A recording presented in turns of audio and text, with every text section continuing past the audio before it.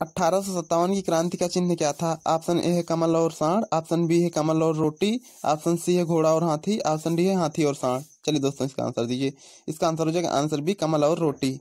चलिए दोस्तों, चलते हैं क्वेश्चन नंबर एक की ओर। क्वेश्चन नंबर एक है, झंडे की लंबाई और चौड़ाई का अनुपात क्या है? ऑप्शन ए है तीन अनुपात पाँच, ऑप्शन बी है चार अनुपात सात, ऑप्शन सी है तीन अनुपात दो, ऑप्शन डी है चार अनुपात छः चलिए दोस्तों, इसका आंसर दीजिए। इसका आंसर हो जाएगा आंसर सी, तीन अनुपात दो।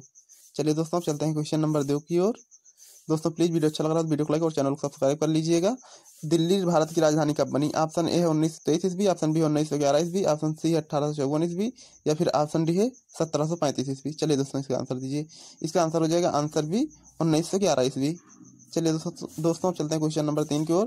क्वेश्चन नंबर तीन है, अमृतसर की स्थापना किसने की थी? ऑप्शन ए है रामदास ऑप्शन बी है देवदास ऑप्शन सी है अकबर, या फिर ऑप्शन डी है लॉर्ड कैनिंग। चलिए दोस्तों, इसका आंसर दीजिए।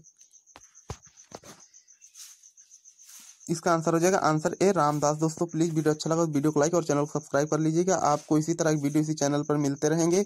इसमें बहुत सारे वीडियो की लिंक डिस्क्रिप्शन में दिया है। आप वहाँ से जाकर सारे वीडियो देख लेना। आपको एस एस में बहुत ही मदद मिलेगी दोस्तों।